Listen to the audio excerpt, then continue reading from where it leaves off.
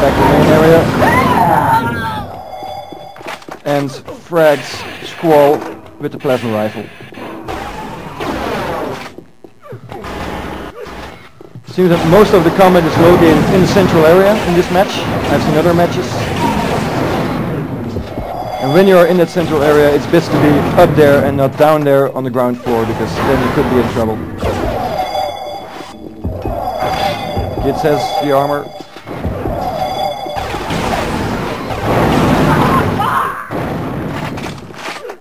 Nice shock frag by Gitz.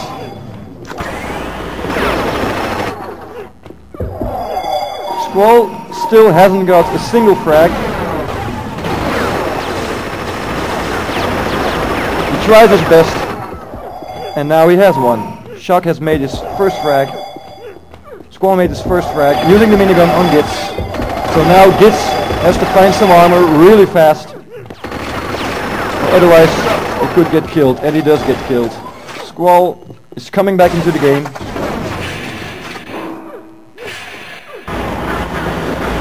But gets treated.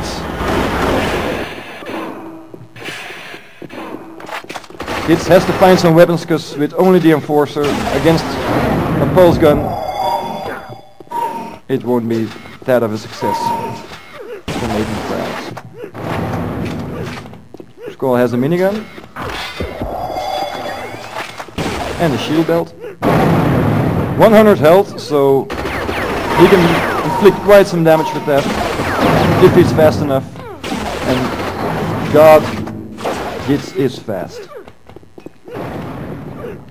Gets 77 health. Charging up with the rocket launcher, going upstairs. At the sniper rifle. Sniper rifle still hasn't been used in this match. Gitz is equipped with it now. But Squall, Squall saw that coming.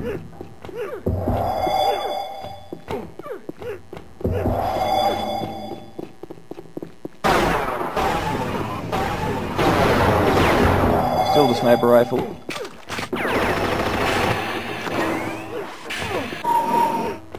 And Squall responds to that with a minigun.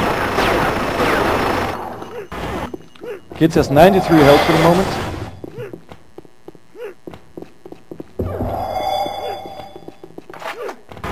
My Squall has 114. Switching to the minigun.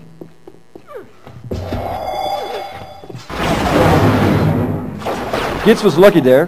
Squall had charged up some rockets and he just nearly dodged them.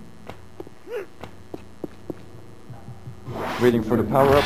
There he has the armor. 104 health. A lot of armor.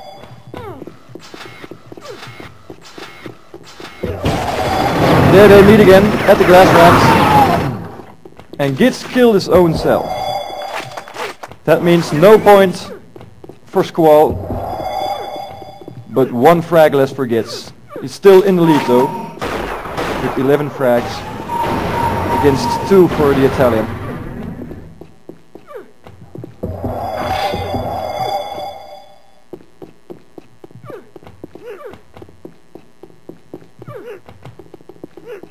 Score for the top ramp where Gitz is. Tries to go back.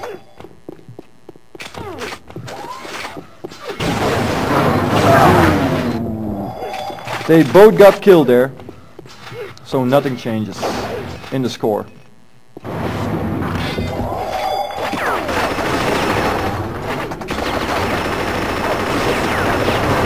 Squall has a flak cannon,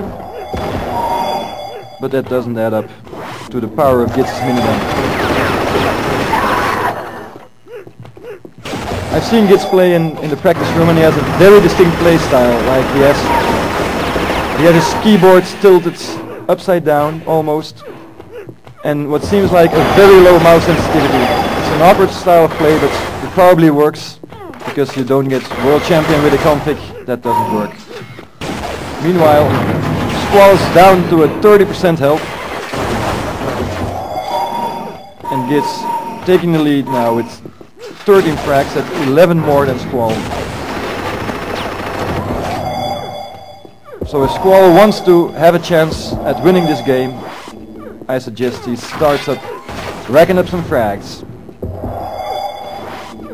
Gets 116 health, equipped with the shield belt and the flak cannon. That's one hell of a fighting machine.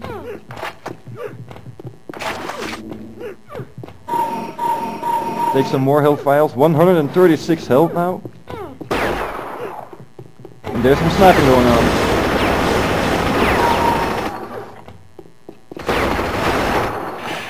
Minigun versus pulse rifle.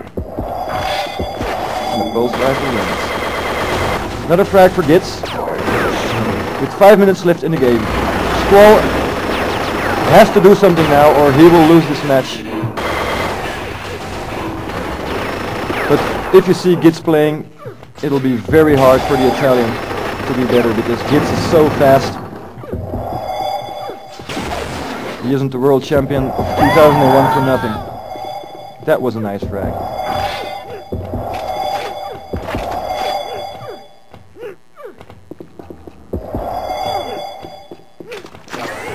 Gitz has the shield belt again. Still had it, but he took it anyway, so Squall can't take it anymore.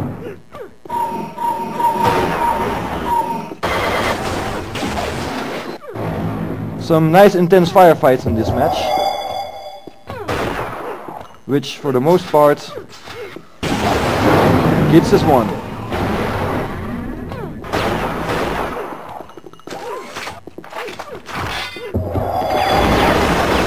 Gitz is really pumped up with armor now.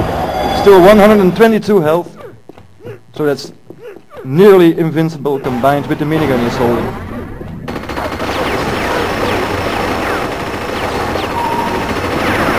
Oh, Squall was very lucky there to have those health packs. He was going very low on health and now he's back up to 79. No armor. So I hope yeah that's what I was that's what I wanted to say. He ran into Gitz and it was over in less than seconds. Squall has a shield belt now, 100 health. Minigun. And Gitz is trying to take a headshot with the sniper rifle.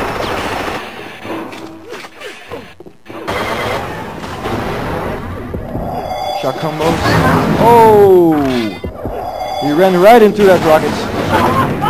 And he does it again. Gitz has got 18 frags, 19 frags that is. Compared to the two of the Italian, I think we can already conclude that Gitz is a stronger one on this map. and it seems like he has gotten his act together after earlier today when he nearly lost to Belgian drummer.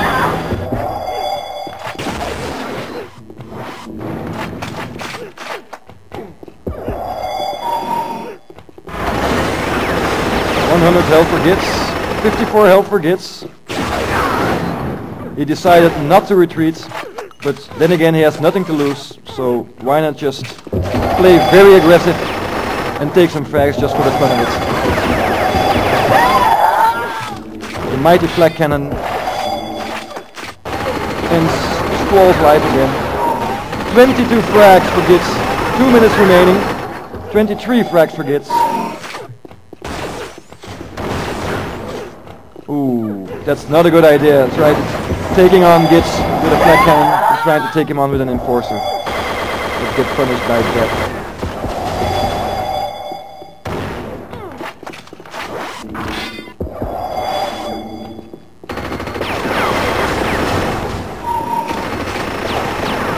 Still trying to take some tracks, although he knows that it doesn't make a difference anymore. Because with one minute remaining in the game, oh, that's for a fairly intense firefight.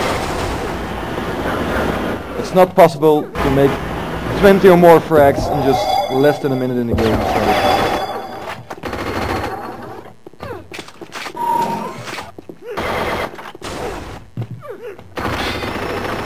So. Gets 61 health as the armor, the flak cannon with one minute left remaining.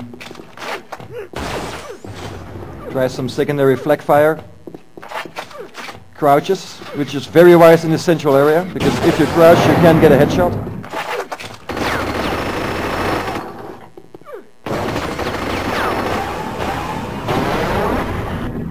Shock rifle versus the minigun. Squall has the shield belt, has the minigun, 100 health. But with 30 seconds left, that's not enough to win this game.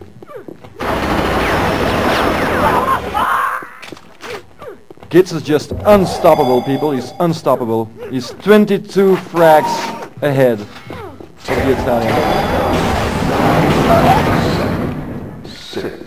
Five seconds and counting. People, this match is over. Gitz has won this convincingly. Germany takes this game.